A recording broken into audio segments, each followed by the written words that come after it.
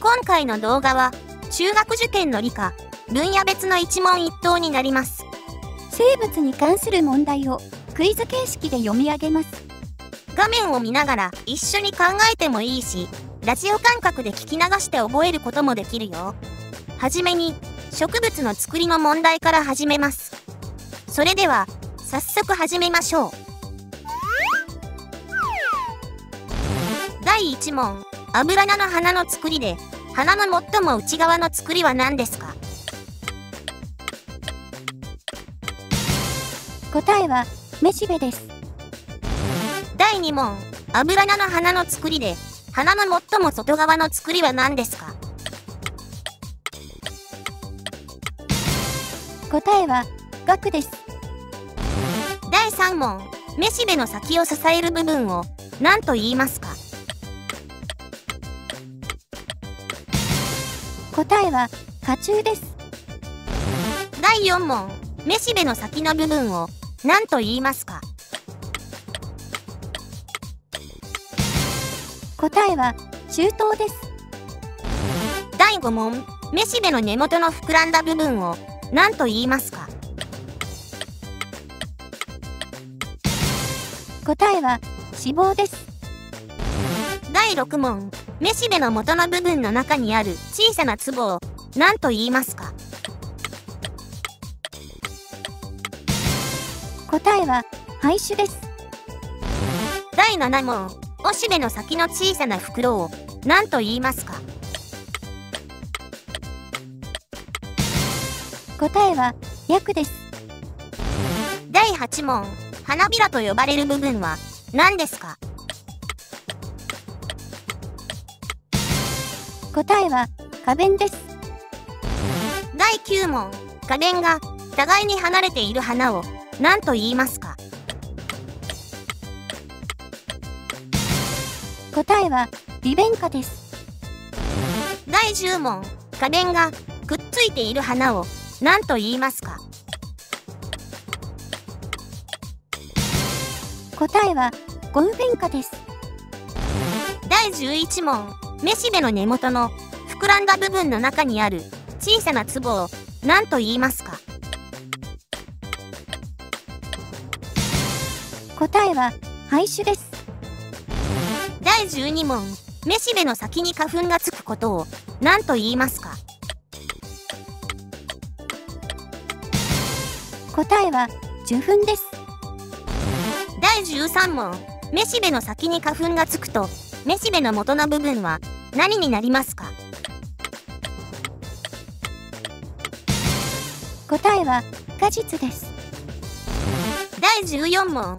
めしべの先に花粉がつくとめしべの元の部分の中の小さな粒は何になりますか？答えは種子です。第15問。種子ができる植物を何と言いますか？答えは種子植物です。第16問。虫によって花粉が運ばれる植物の花を何と言いますか？答えは虫媒花です。第17問。風によって花粉が運ばれる植物の花を何と言いますか？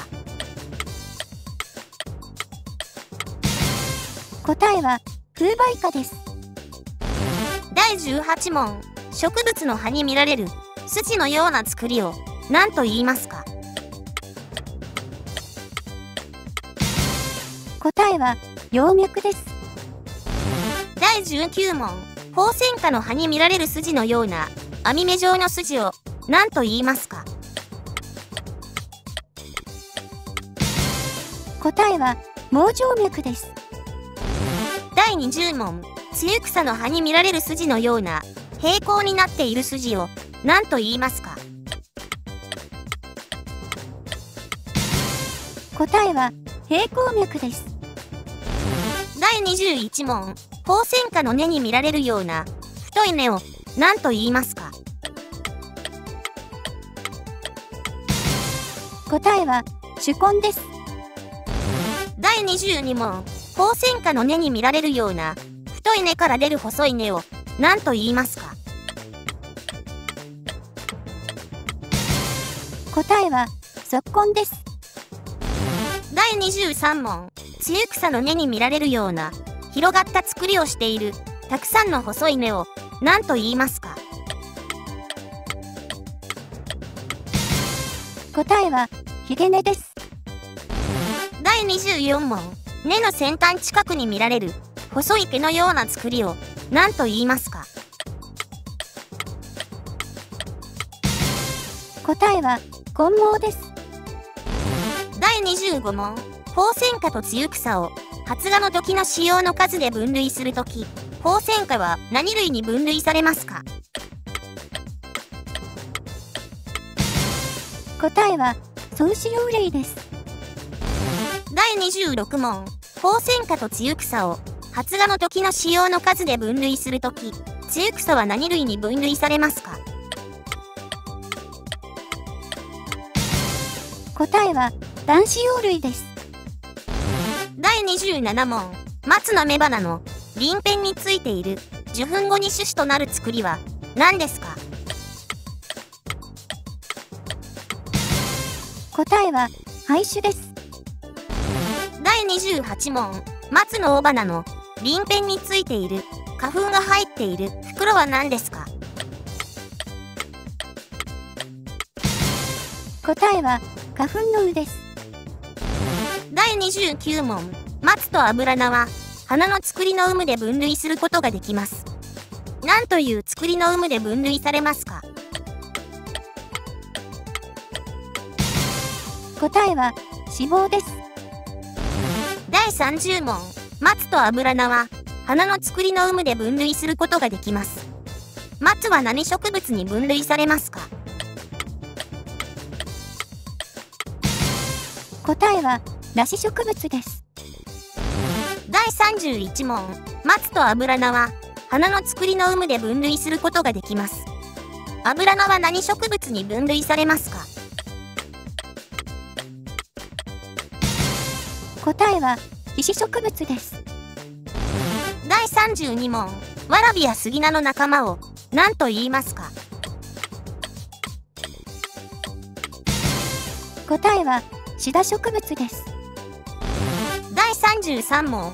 ゼニゴケやスギゴケの仲間を何と言いますか？答えは、苔植物です。第34問。ワラビやゼニゴケの仲間は何で仲間を増やしますか？答えは、胞子です。第35問。ワラビやゼニゴケの仲間について、仲間を増やすためのものは、どこに入っていますか？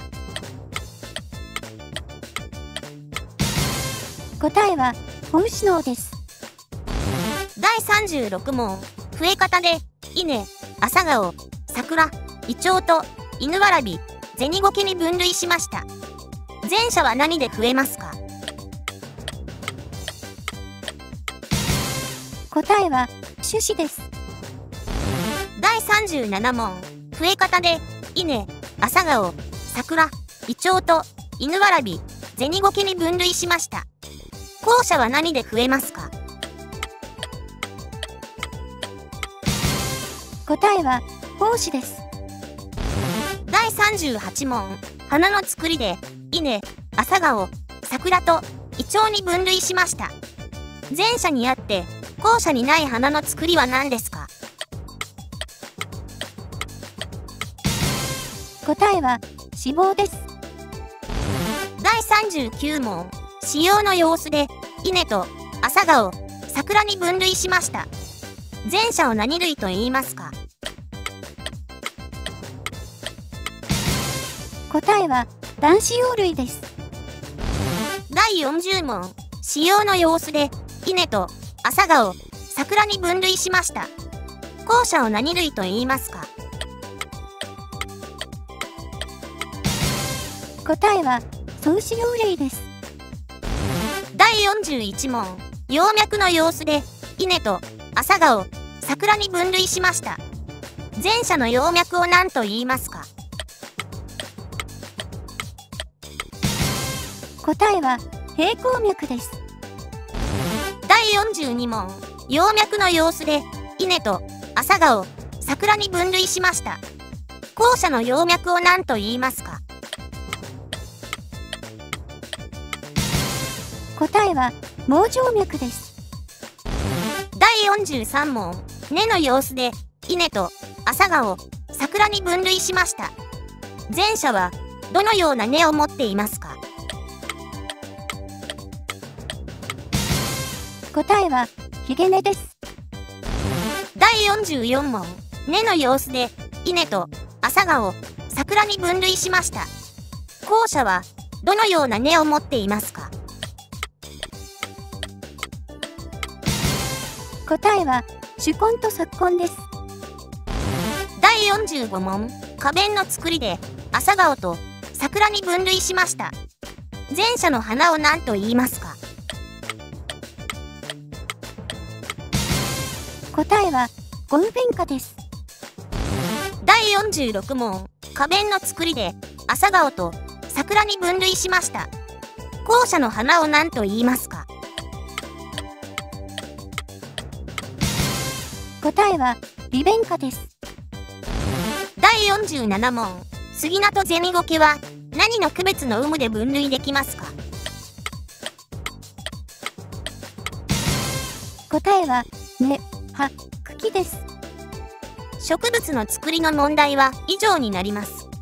次は植物の働きの問題になります。それでは始めましょう第1問。植物が光のエネルギーを利用してでんぷんなどの養分を作る働きを何と言いますか？答えは光合成です。第2問。光合成が行われる場所を調べるため日光に当てた植物の葉を熱湯に浸した後エタノールに入れました。熱湯に浸すのは何のためですか？答えは葉を柔らかくするためです。第3問光合成が行われる場所を調べるため日光に当てた植物の葉を熱湯に浸した後エタノールに入れました温めたエタノールに入れたのは何のためですか？答えは葉の緑色を抜くためです。第4問光合成が行われる場所を調べるため熱湯やエタノールで処理した植物の葉にある薬品を垂らしました。この薬品は何ですか？答えはヨウ素液です。第5問。光合成が行われる場所を調べるため熱湯やエタノールで処理しある薬品を垂らすと青紫色になった部分がありました。その部分にある養分は何ですか？答えはでんぷんです。第6問光合成が行われるのは細胞の中の何という部分ですか？答えは葉緑体です。第7問比較のため調べようとすること以外の条件を同じにして行う実験を何と言いますか？答えは対象実験です。第8問光合成が行われる時の原料となるものは水と何ですか？答えは二酸化炭素です。第9問光合成が行われる時にできるものはでんぷんと何ですか？答えは酸素です。第10問光合成で発生した気体を集め気体の中に火をつけた線香を入れるとどうなりますか？答えは炎を上げて激しく燃えます。第11問緑色にした BTB 液に二酸化炭素を通すと何色に変化しますか？答えは黄色です。第12問二酸化炭素の増減を調べるために使うことができる薬品には BTB 液の他に何がありますか？答えは石灰水です。第13問生物が酸素を取り入れ二酸化炭素を出す働きのことを何と言いますか？答えは呼吸です。第14問。空気と新鮮な植物の葉を入れたビニール袋を日光の当たるところに置き中の空気を石灰水に通しました。この時石灰水はどうなりますか？答えは変化しません。第15問。空気と新鮮な植物の葉を入れたビニール袋を一晩暗いところに置いてから中の空気を石灰水に通しました。この時石灰水はどうなりますか？答えは白く濁ります。第16問空気と新鮮な植物の葉を入れたビニール袋を日光の当たるところに置き中の空気を緑色にした BTB 液に通しました。この時 BTB 液はどうなりますか？答えは変化しません。第17問空気と新鮮な植物の葉を入れたビニール袋を一晩暗いところに置いてから中の空気を緑色にした BTB 液に通しましたこの時 BTB 液はどうなりますか？答えは黄色になります。第18問植物が呼吸を行っているのはいつですか？答えは一日中です。第19問。植物が光合成を行っているのはいつですか？答えは昼間のみです。第20問。呼吸より光合成が盛んに行われるのはいつですか？答えは昼です。第21問根から吸い上げた水が植物体内から水蒸気として体外へ放出される現象を何と言いますか？答えは蒸散です。第22問陸上の多くの植物では蒸散の量は葉のどちら側で多いですか？答えは裏側です。第23問葉の表面にある細長い2つの細胞の隙間を何と言いますか？答えは気候です。第24問多くの植物で気候が多く分布しているのは葉のどのあたりですか？答えは裏側です。第25問。葉の表面に見られる。根で吸収した水や葉で作られた養分を運ぶ通り道を何と言いますか？答えは葉脈です。第26問。水を輸送する働きを持つ管を何と言いますか？答えは導管です。第27問葉で作られた養分を運ぶ働きを持つ管を何と言いますか？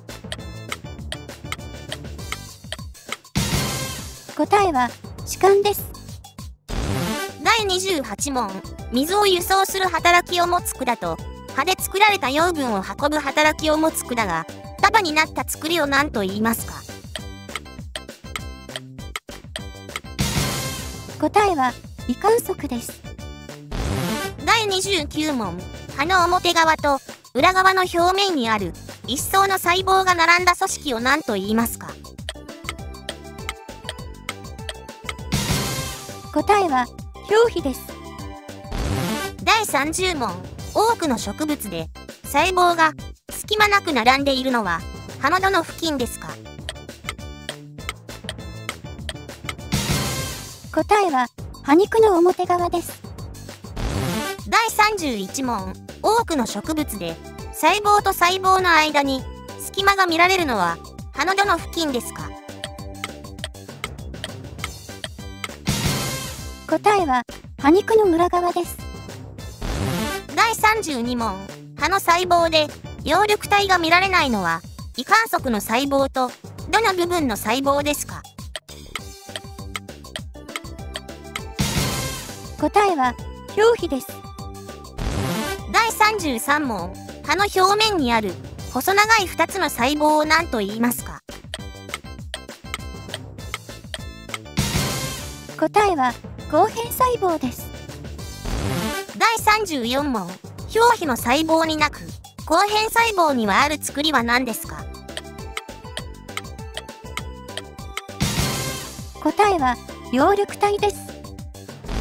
第35問根から吸い上げた水や水に溶けた肥料分が糖緑だを何と言いますか？答えは、導管です。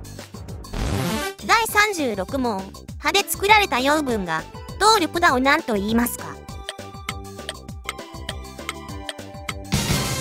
答えは、歯間です。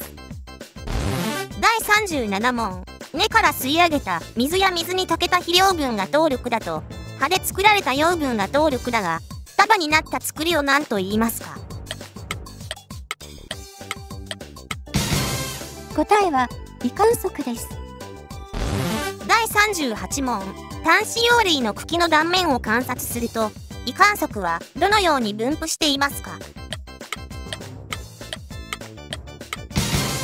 答えは、バラバラに散らばっています。第39問草子葉類の茎の断面を観察すると胃管束はどのように分布していますか？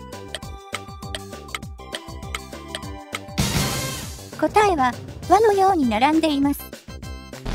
第40問茎の断面の胃管束が輪のように並んでいる皮脂植物の葉脈はどうなっていますか？答えは、網目状になっています。第41問茎の断面の胃管束がバラバラに散らばっている皮脂植物の葉脈はどうなっていますか？答えは、平行になっています。第42問茎の一つの胃管束の中で導管はどこに集まっていますか？答えは、中心側に集まっています。第43問茎の一つの胃管束の中で歯間はどこに集まっていますか？答えは、表皮側に集まっています。第44問根には水などを植物体内に取り入れたり土から抜けにくくしたりすることの他にどのような働きがありますか？答えは、体を支えるです。第45問。根の先端付近には表皮細胞から伸びた毛のような作りが多数あります。この作りを何と言いますか？答えは、混毛です。第46問。根にも茎からつながる胃管束があります。根の胃管束の中心付近の管は何ですか？答えは、導管です。第47問。根にも茎からつながる胃管束があります。根の胃管束の表皮側にある管は何ですか？答えは、歯間です。第48問。葉緑体でできたでんぷんはどのようなものに変えられて体の各部に運ばれますか？答えは、水に溶けやすい物質です。第49問体の各部には運ばれた小さな糖などの養分は果実や種子などに蓄えられることと成長の他に何に使われますか？答えは、細胞の呼吸です。第50問種子に蓄えられた養分は何に使われますか？答えは発芽です。第51問。根から吸収された水の一部は植物に必要な養分を作る働きに使われます。この働きは何ですか？答えは光合成です第52問根から吸収された水の大部分は植物の体の外に水蒸気として出されますこの働きは何ですか？答えは蒸散です。第53問蒸散で水は歯の何という部分から空気中に出ていきますか？答えは気候です。第54問蒸散が行われると根からの吸水作用が盛んになりますこの時水と一緒に吸収され成長に使われるものは何ですか？答えは水に溶けた肥料分です。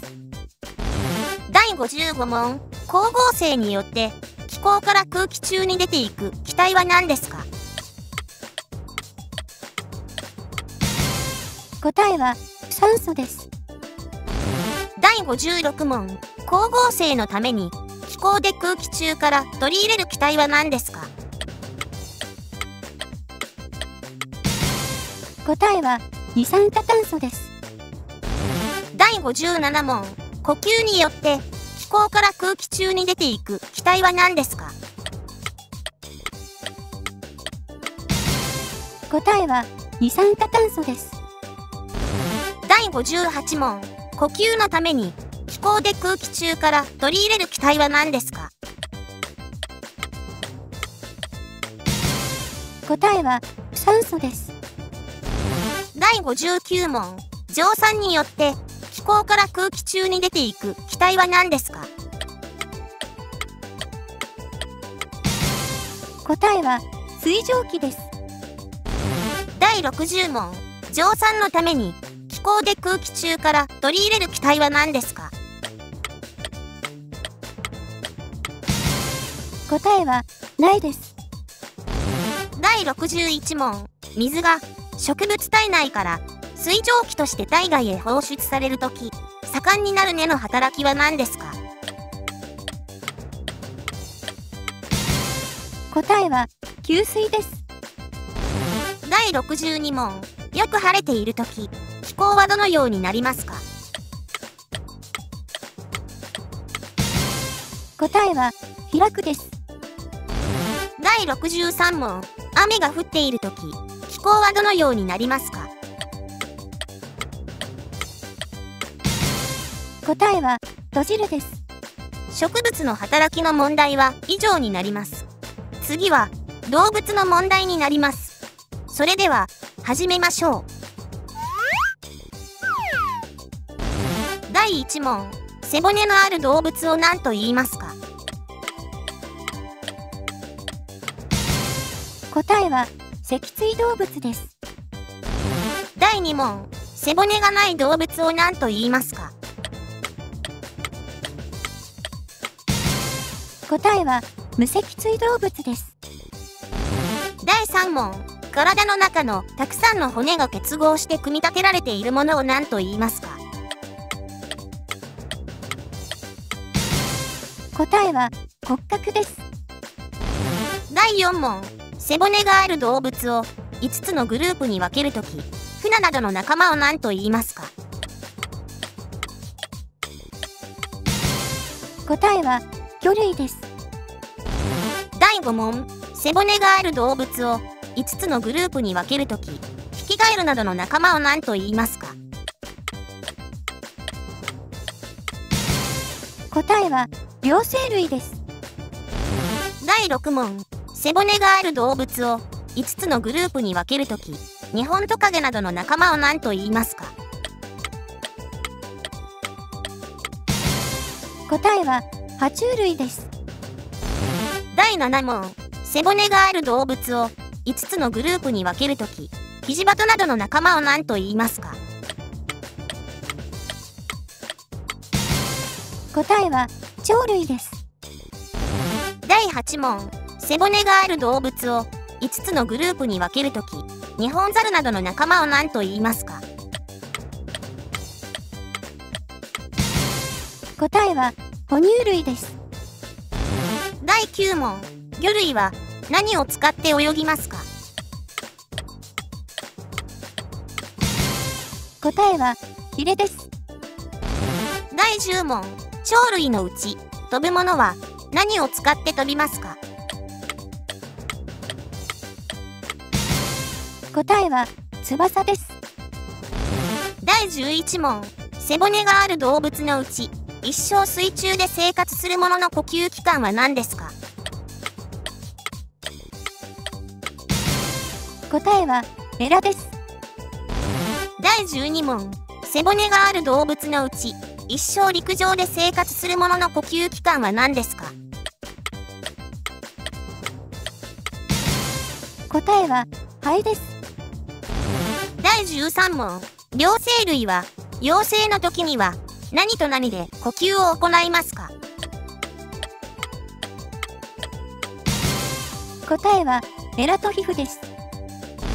第14問両生類は生体になると何と何で呼吸を行いますか？答えは、肺と皮膚です。第15問魚類の体は何で覆われていますか？答えは、鱗です。第16問鳥類の体は何で覆われていますか？答えは、羽毛です。第17問メスが体外に卵を産むことを何と言いますか？答えは、卵生です。第18問メスが体内で受精した後に卵が育ち子としての体ができてから生まれることを何と言いますか？答えは、胎生です。第19問陸上に卵を産む動物の卵には丈夫な何という作りがありますか？答えは、殻です。第20問卵から帰った子にしばらく食物を与えて育てる仲間は何類ですか？答えは、鳥類です。第21問生まれた子にしばらく乳を与えて育てる仲間は何類ですか？答えは、哺乳類です。第22問。主に植物を食料とする動物を何と言いますか答えは、草食動物です。第23問。主に植物を食物とする哺乳類の歯は草を噛み切るための何という歯が発達していますか答えは、門歯です。第24問。主に植物を食物とする哺乳類の歯は草をすりつぶすための何という歯が発達していますか？答えは、臼歯です。第25問。主に植物を食物とする哺乳類の目は広い範囲を確保するため頭のどの部分についていますか？答えは、側面です。第26問主に他の動物を食物とする動物を何と言いますか？答えは、肉食動物です。第27問主に他の動物を食物とする哺乳類の歯は獲物を仕留めるための何という歯が発達していますか？答えは、原子です。第28問主に他の動物を食物とする哺乳類の歯は肉を切り裂くための何という歯が発達していますか？答えは、臼歯です。第29問主に他の動物を食物とする哺乳類の目は立体的に見える視野の範囲が広くなるように頭のどの部分についていますか？答えは前面です。第30問体が多くの節からできていて足にも節のある動物を何と言いますか？答えは節足動物です。第31問体や足に節がある動物のうちザリガニやエビガニなどの仲間を何と言いますか？答えは甲殻類です。第32問体や足に節がある動物のうちバッタや蝶などの仲間を何と言いますか？答えは昆虫類です。第33問体や足に節がある動物のうちクモやサソリなどの仲間を何と言いますか？答えは雲類です。第34問バッタや蝶などの仲間は体がいくつに分かれますか？答えは3つです。第35問バッタや蝶などの仲間の胸には何対の足がついていますか？答えは3対です。第36問。バッタや蝶などの仲間の腹には呼吸を行うために空気を取り入れる何という作りがありますか？答えは疑問です。第37問。ザリガニやエビ。ガニの仲間は境界がはっきりせず体がいくつに分かれているものが多いですか？答えは2つです。第38問無脊椎動物のうち内臓が柔らかい膜で包まれている無脊椎動物を何と言いますか？答えは軟体動物です。第39問アサリマイマイタコの仲間は内臓が何で包まれていますか？答えは外頭膜です。第40問アサリやタコのように水中で生活するものは何で呼吸しますか？答えはエラです。第41問マイマイなどのように陸上で生活するものは何で呼吸しますか？答えは肺です。第42問。アサリは何で足を動かしますか？答えは筋肉です。第43問。メダカとエビとアサリは共通して何で呼吸しますか？答えはエラです。第44問。メダカとエビとアサリは共通して何という仲間の増やし方をしますか？答えは卵生です。動物の問題は以上になります。次は人体の問題になります。それでは始めましょう。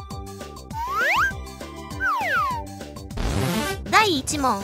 主に生きていくために必要なエネルギー源となるでんぷんなどの養分を何と言いますか？答えは炭水化物です。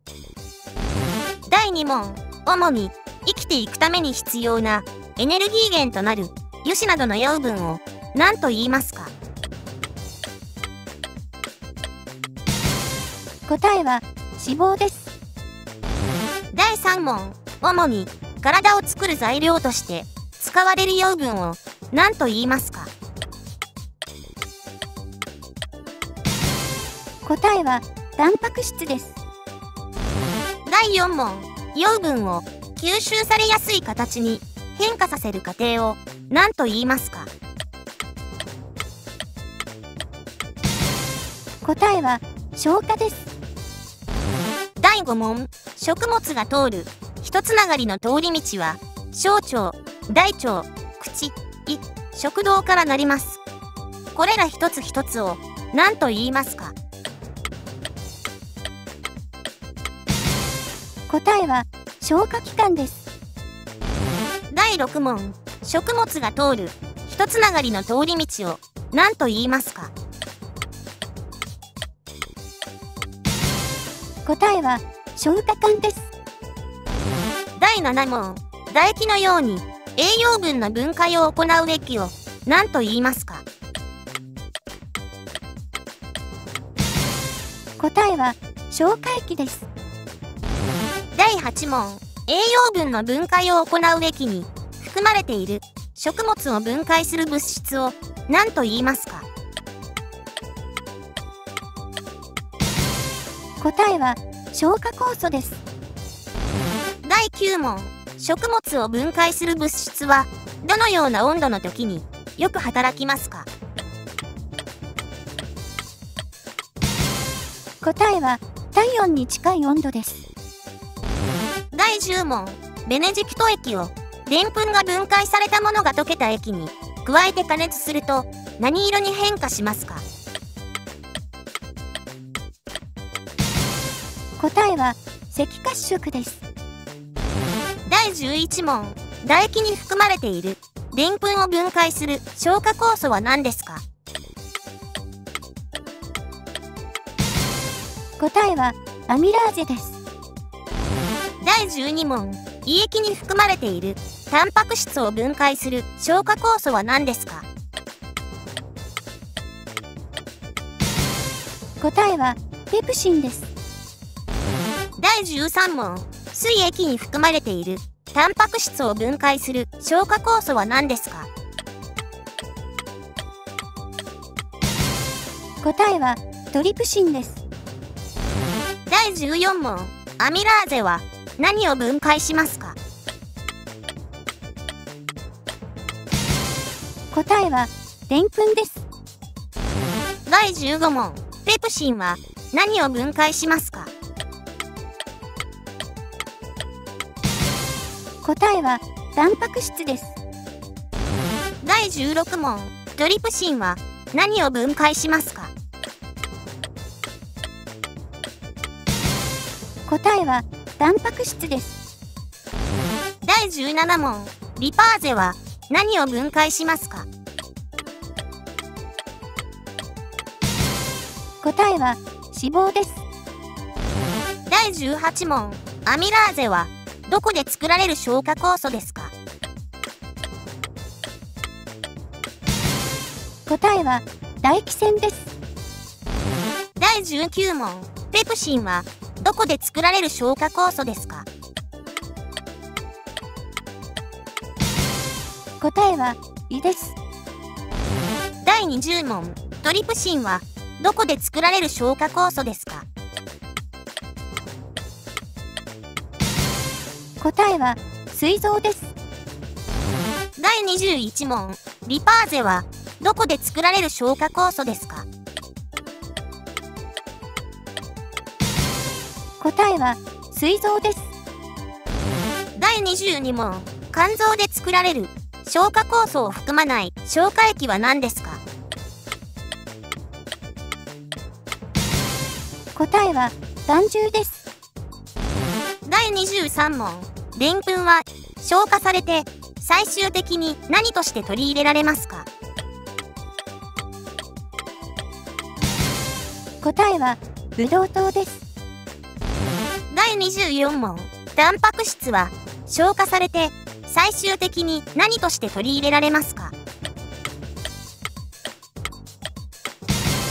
答えはアミノ酸です。第25問。脂肪は消化されて最終的に脂肪酸と何として取り入れられますか？答えはモノグリセリドです。第26問。脂肪は消化されて最終的にモノグリセリドと何として取り入れられますか？答えは脂肪酸です。第27問。消化された養分が消化管の中から体内に取り入れられることを何と言いますか？答えは吸収です。第28問小腸のひだの表面に見られる無数の小さな突起は何ですか？答えは重毛です。第29問ブドウ糖とアミノ酸は小腸の表面の無数の突起内の何という管に吸収されますか？答えは毛細血管です。第30問モノグリセリドと脂肪酸は小腸の表面の無数の突起内の何という管に吸収されますか？答えはリンパ管です。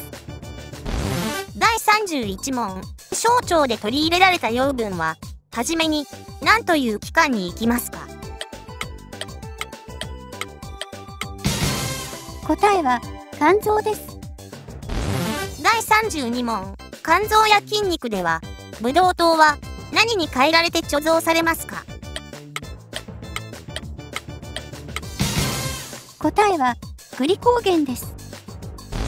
第33問肺などで酸素と二酸化炭素が交換されることを何と言いますか？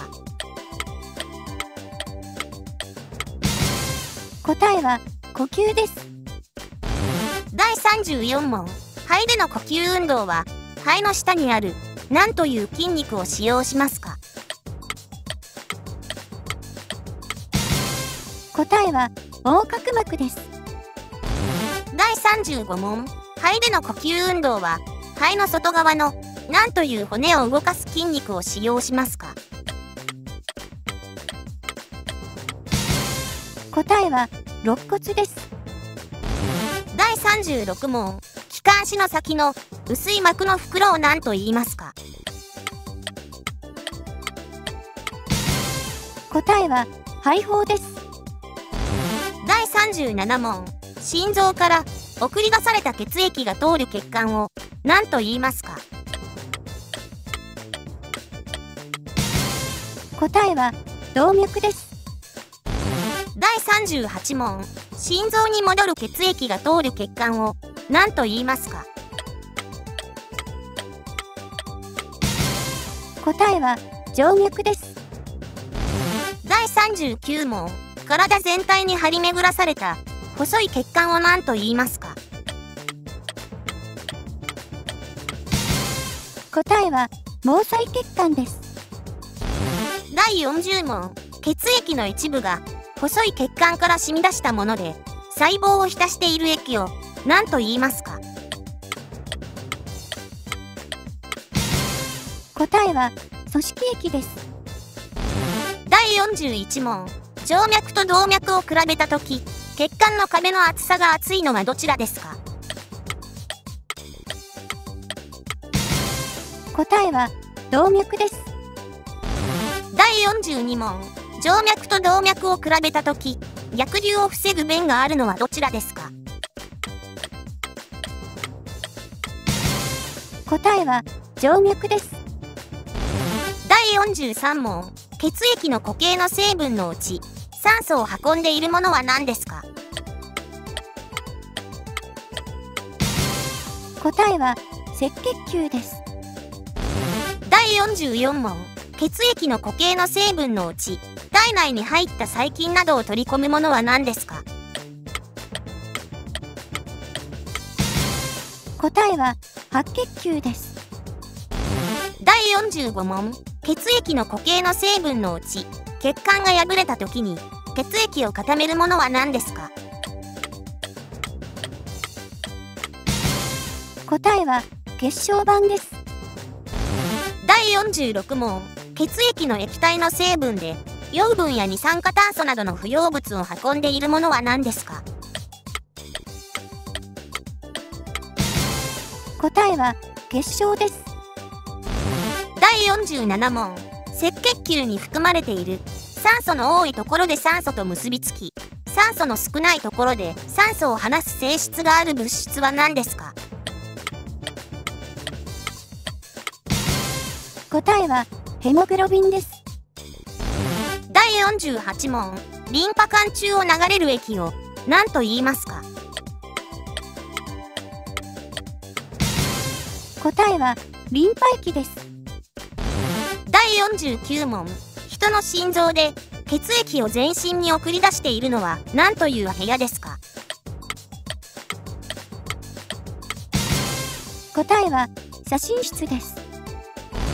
第50問血液が心臓から出て全身を巡って心臓に戻る経路を何と言いますか？答えは体循環です。第51問血液が心臓から出て肺を巡って心臓に戻る経路を何と言いますか？答えは肺循環です。第52問酸素を多く含む血液を何と言いますか？答えは動脈血です。第53問。二酸化炭素を多く含む血液を何と言いますか？答えは静脈血です。第54問。不要な物質を体外に出す働きを何と言いますか？答えは排出です。第55問。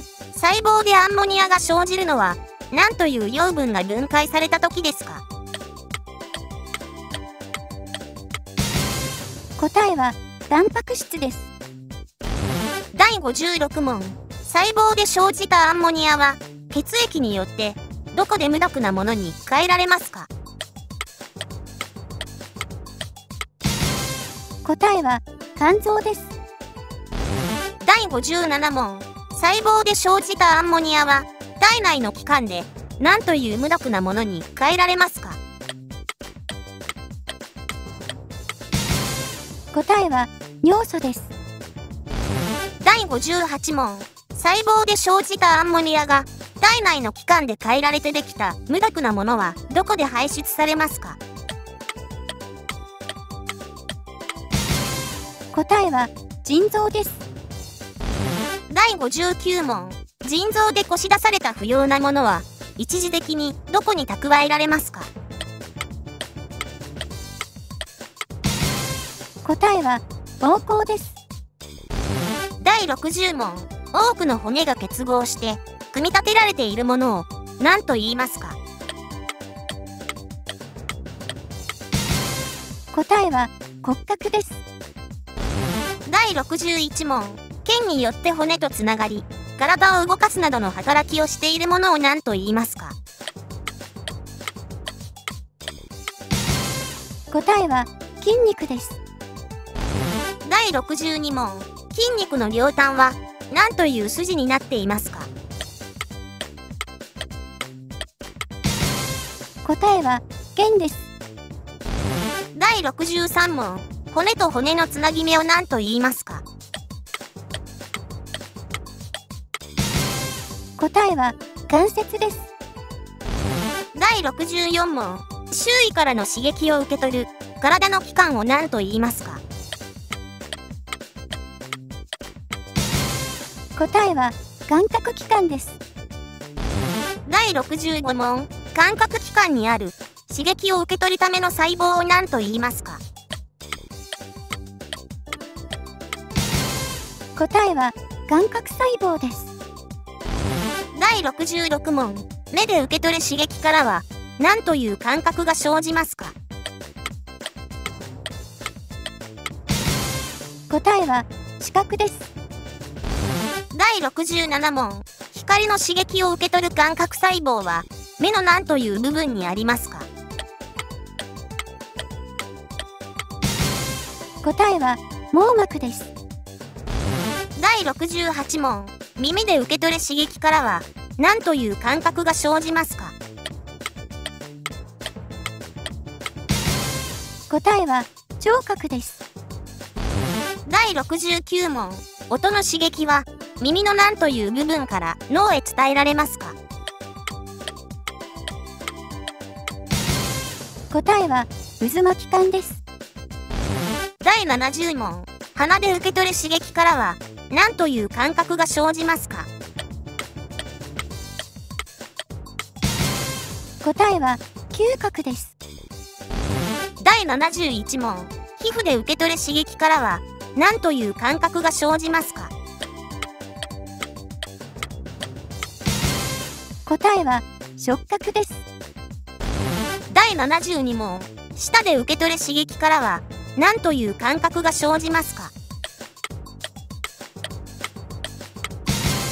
答えは、味覚です。人体の問題は以上になります。次は生態系の問題になります。それでは始めましょう。第1問。ある場所に生活する生物とそれを取り巻く環境を一つのまとまりと捉えたものを何と言いますか？答えは、生態系です。第2問。食べる、食べられるの関係が生物間を複雑な網の目のようになっていることを何と言いますか？答えは、食物網です。第3問食べる食べられるの関係のつながりを1対1の関係で順番に結んだものを何と言いますか？答えは、食物連鎖です。第4問無機物から有機物を作り出す植物などの生物を何と言いますか？答えは、生産者です。第5問水中に漂って生活している生物をまとめて何と言いますか？答えは、プランクトンです。第6問水中に漂って生活している生物のうち光合成を行うものを何と言いますか？答えは、植物プランクトンです。第7問無機物から有機物を作り出す植物などの生物を食べる動物などの生物を何と言いますか？答えは、消費者です。第8問。生物がエネルギーを得るとき何を分解していますか？答えは、有機物です。第9問。植物を食べる動物を何と言いますか？答えは、草食動物です。第10問。他の動物を食べる動物を何と言いますか？答えは、肉食動物です。第11問。土の中の生物の食物連鎖の出発点は何ですか？答えは、生物の死骸や糞です。第12問。植物。草食動物。下位の肉食動物。上位の肉食動物がいる生態系の中で数量が最も多いものはどれですか？答えは、植物です。第13問。植物。草食動物。下位の肉食動物。上位の肉食動物がいる生態系の中で数量が最も少ないものはどれですか？答えは、上位の肉食動物です。第14問。ある生態系の中でバッタヘビカエル稲はそれぞれ植物草食動物下位の肉食動物上位の肉食動物に当てはまります。植物はどれですか？答えは、稲です。第15問ある生態系の中でバッタヘビカエル稲はそれぞれ植物草食動物下位の肉食動物上位の肉食動物に当てはまります草食動物はどれですか？答えは、バッタです。第16問ある生態系の中でバッタヘビカエル稲はそれぞれ植物草食動物下貝の肉食動物上位の肉食動物に当てはまります。貝の肉食動物はどれですか？答えは、カエルです。第17問ある生態系の中でバッタヘビカエル稲はそれぞれ植物草食動物貝の肉食動物上位の肉食動物に当てはまります上位の肉食動物はどれですか？答えは、ヘビです。第18問ミミズは生産者草食動物肉食動物のうちどれですか？答えは、草食動物です。第19問ムカデミミズモグラのうち主に落ち葉を食べるものはどれですか？答えは、ミミズです。第20問ムカデミミズモグラのうち貝の肉食動物であり他の動物を食べるものはどれですか？答えは、ムカデです。第21問。ムカデミミズ。モグラのうち上位の肉食動物であり他の動物を食べるものはどれですか？答えは、モグラです。第22問自然界では生産者と消費者の数量は変化しますがその釣り合いはどのようになっていますか？答えは、一定に保たれます。第23問。植物。草食動物。肉食動物がいる生態系の中で草食動物の数が急に減ったとするとその直後の数が増えるものはどれですか？答えは、植物です。第24問。植物。草食動物。肉食動物がいる生態系の中で草食動物の数が急に減ったとするとその直後に数が減るものはどれですか？答えは、肉食動物です。第25問。カビやキノコなどの仲間を何と言いますか？答えは、菌類です。第26問乳酸菌や大腸菌などの仲間を何と言いますか？答えは、細菌類です。第27問生物の死骸や糞などから栄養分を得ている生物を何と言いますか？答えは、分解者です。今回の動画は以上になりますご視聴ありがとうございました今後も動画を投稿していきますので、チャンネル登録と高評価よろしくお願いします。それでは、次回の動画でお会いしましょう。またね